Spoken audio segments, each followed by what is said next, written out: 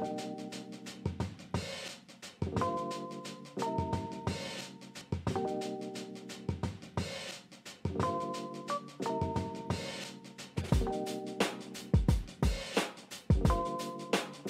was supposed to uh, make this video yesterday, but I was uh,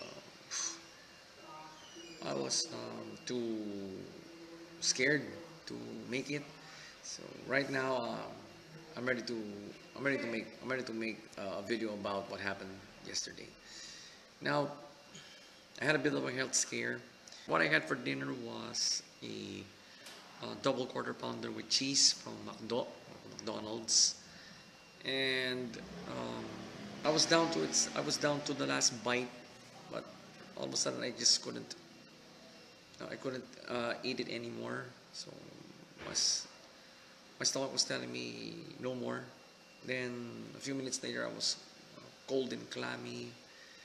I um, I went to the bathroom okay, to take some shit out.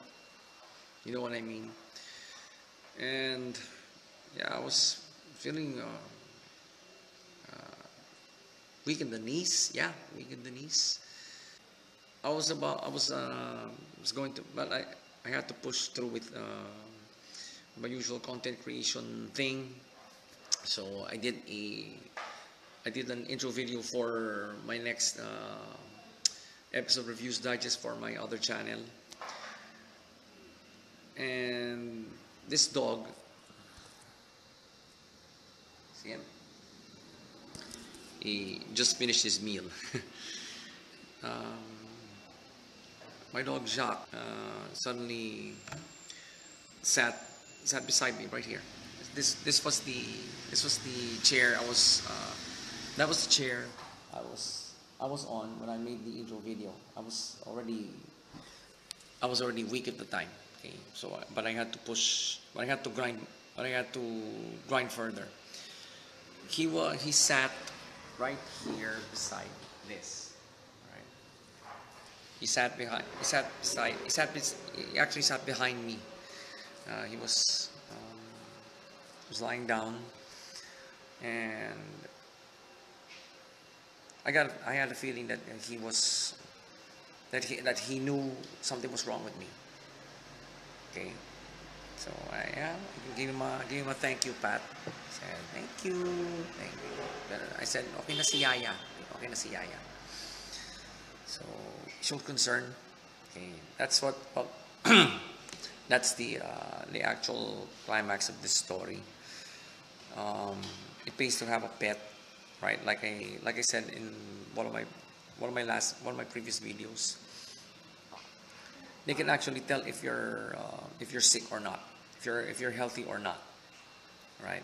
So my dog, my dog showed me. My dog was telling me that um, something was wrong with me, and um, right now I'm feeling a little better. Uh, I, I got a I got a nervous stomach right now because of the the um, the upload to my other channel. It's, uh, it's taking it's taking really long because it, it is a long video. Okay? It was a re- it's a really long video. And uh, aside from the nervous stomach, yeah, I'm fine. I'm totally fine. I even told my mother, uh, remind me, remind me never to order that many, remind me to never order that that that big hamburger again at night. All right. My my stomach couldn't take it anymore because it's it's because of the keto diet. It has uh, adjusted itself. So I think it as a, a good sign, and it's also uh, my stomach telling me don't uh, don't do that anymore. but bottom line, um, pets can really pets can really tell if you're um, if you're down, if you're sick. Uh, no matter no matter how no matter how no matter how hard you hide it um, uh, from from other humans, right? Animals can tell. So, well, again, like I said in in uh, a previous video, pays to have a pet. So,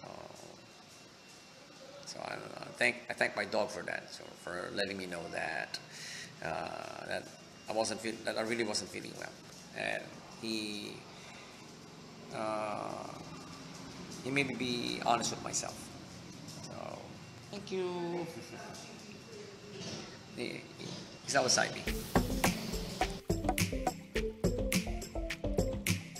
I just saw this uh, this tweet by a certain uh, just uh, by this certain guy. I don't know how how accurate his source for uh, source for history is, but how did he arrive at a comparison between Bitcoin and Tulip Mania? Where does this guy get his history from? History Channel? Nope. but anyway, um, I too, I too, I first heard of Tulip Mania on History Channel. All right, but I don't think it. I don't think Tulip Mania lasted as long as Bitcoin. All right. If my history serves serves me correct, Tulip Mania didn't last a year. Okay in, in case you guys don't uh, are not familiar with it, Tulip Mania happened in uh, I think uh, Denmark. All right, I'm not sure, but it happened in in Scandinavia. The um, uh, the place where the place I think the place I think where, where tulips abound, where the tulip is their national flower right now. So it happened because uh, there was a uh, the tulip was a valued commodity at the time. Okay, they were they were rarely grown, and it's uh, I think it's hard to grow at the time. So they're buds or yung seeds. Okay, they're called buds. They're seeds. Mga I think mga ganun kalaki yun. Okay, they're that big. I think one tulip bulb fetched for peaked at sev- several thousands of dollars today at that time. All right. And well, the commodities market, I think, was in its infancy at the time. Okay. So it was a valued commodity and the price went up to, in today's money, uh, several thousands of dollars. It actually made um, a family of orphans millionaires when they bought, when they sold their their remaining box of tulips. It was traded, it was instantly traded on the floor then eh, it did fetch for uh, millions of dollars today. Okay, uh, yeah. Soon after that happened i think okay if my again if my history serves me correct it crashed. The price of tulips on the commodities market crashed. One day no one was no one was interested in buying anymore so of course when that happened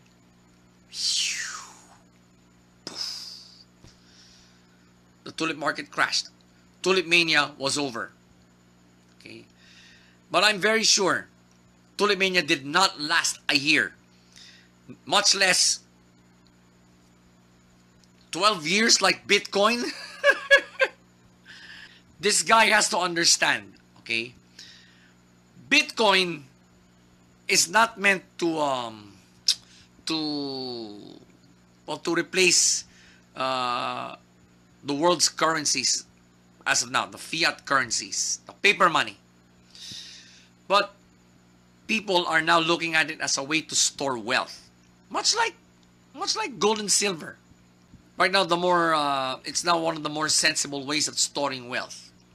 Okay, because bottom line, people are people's distrust over their own country's monetary systems is growing, especially now. Especially now. So, I am still dumbfounded as to how this guy was able to compare Tulip Mania was was able to compare Bitcoin to Tulip Mania. I am still dumbfounded at his, at his basis is, at his this historical basis was. How do you compare something that only lasted less than a year to something that to something that is still ongoing after 12 years? You tell me, You tell me, Twitter. Okay? You tell me. Comment below. Okay? Let's fight. All right? Let's be clear. But here's my own bottom line. Bitcoin is no fad. Right? As a means of storing storing wealth, it's meant to stay. Okay? It's meant to stay. Now, for to make it easier for that guy to understand, Bitcoin is no tulip mania.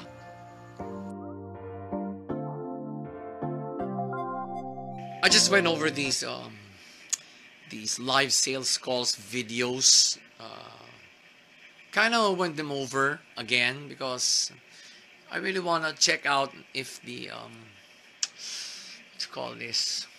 I really wanted to check uh, if if I'm not being bitten by shiny object syndrome or what, if these are legit.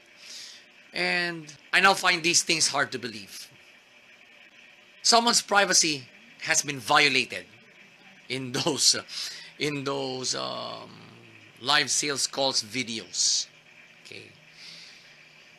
Because based on my experience, the sales call only consists of two parties. You, the salesman, and of course, the prospect. A true sales professional should be privy to his sales calls. Okay? It should only be between you and the prospect. Now, hmm, when someone else watches it or when someone else is there to to to overhear the conversation, well, that's an entirely different matter altogether. Someone's privacy has been violated, in my point of view. If you're the sales guru, for me, you don't have to do that. Okay? You do not have to do that to prove your point to everybody that your um, your technique or system works. You know what's the most powerful way to legitimize uh, to legitimize a sales guru? How LinkedIn? The testimonials. Okay. The testimonials of both the sales guru's client and his students. Simple as pie. If you're if if you're if you're a salesperson and and uh, the, the client totally agrees to give you a, uh, a written testimonial about uh, his experience with you, that says something.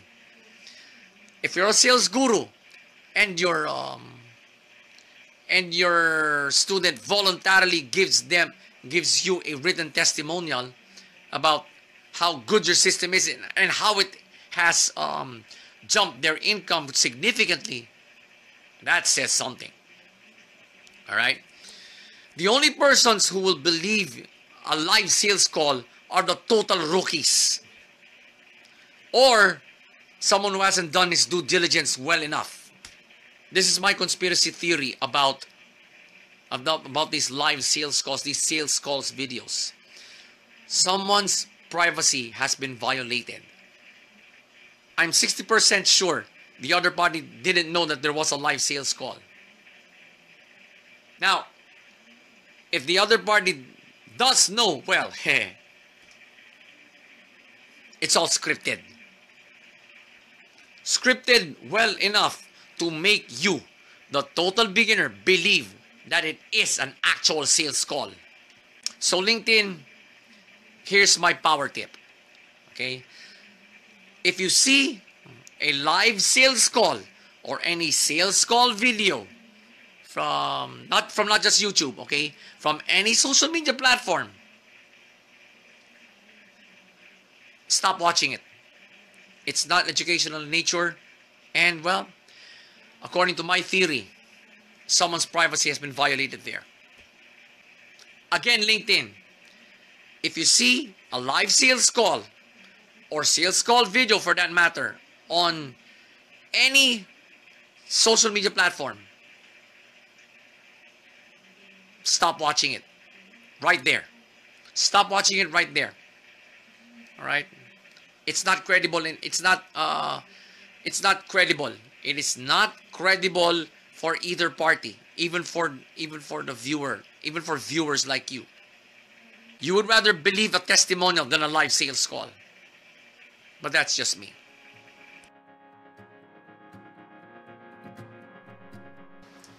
I just um, went over went over LinkedIn a few several minutes ago. I just had two new connections. Okay, these two new connections did the same thing. They went straight right away, went straight away in offering their business, in offering their, their business opportunity or whatever chuba chenes they, they had to offer.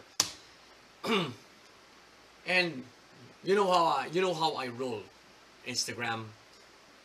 When it comes to spamming and salesiness, I got zero tolerance for that.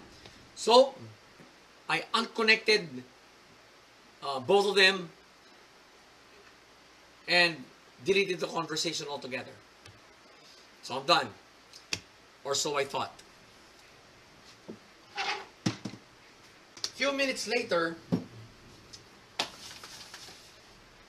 one of them resent the spam message.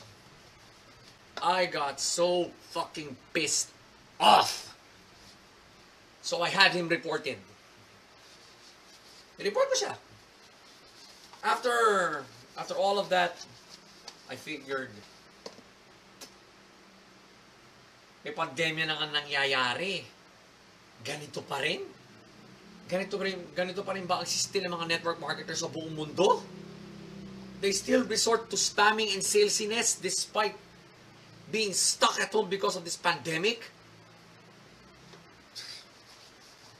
If you ask me, everyone should make this pandemic a reality check for them. You get me, Instagram? You get me now? In my honest opinion, spamming and salesiness are COVID proof. Unfortunately. Okay? Unfortunately, there are still people who still want to spam and uh, salesiness their way to network marketing success.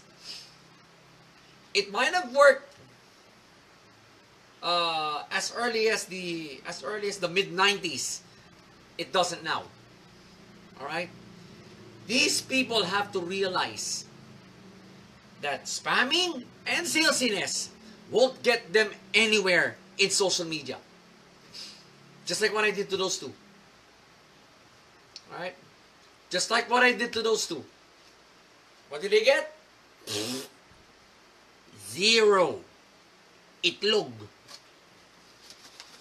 So, Instagram, if if you know anybody, okay, if you guys know anybody who are who's into spamming and salesiness, no matter what no matter what business model they're using, okay, report them right away.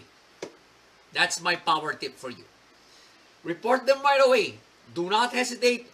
Do not even uh, do not even reply to their spam messages because the conversation will because the conversation won't stop.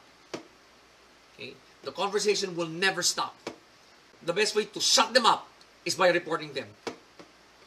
Maybe that will give them a reality check.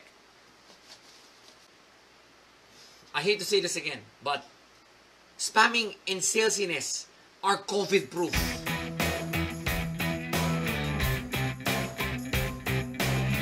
Decided to um, put in this uh, early entry to remind you, Snapchat, that, well, in this world of um, bullying, cyberbullying, not not uh, not to say that uh, I am I'm being bullied myself, but I was once bullied in the past. Now, when you think of it, the worst person anybody anybody can bully is themselves. Okay. Why why should you allow the world to dub you as a weakling, to accept being a weakling when you're actually not? See, that's only validation for uh, for the people who are bullying you. Why should you let anybody um, validate your own personality. So in order for you not to be bullied, in order for you to keep the external bullies away, stop bullying yourself, Snapchat. Stop bullying yourself.